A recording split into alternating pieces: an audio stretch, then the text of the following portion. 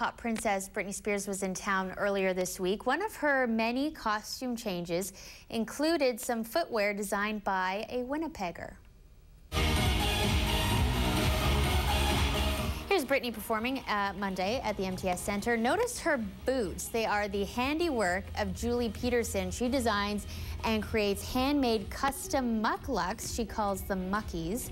The young designer's creations have also graced the feet of celebrities including Anna Paquin, Rumer Mel Willis, and Kristin Cavallari. Muckies. Muckies. So Super it's cool. high heel mukluks. Yes. That's kind of cool. Very cool. And she was dancing up a storm in those high heels. Yeah, you said you you spotted them when you were at the concert, Mm-hmm. right?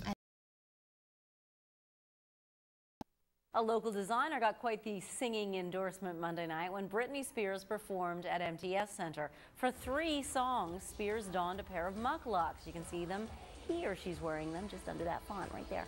A product of local designer Julie Peterson.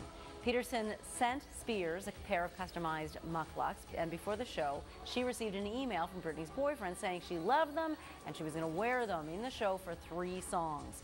Peterson, who works out of a studio in the West End, screamed when she heard the news.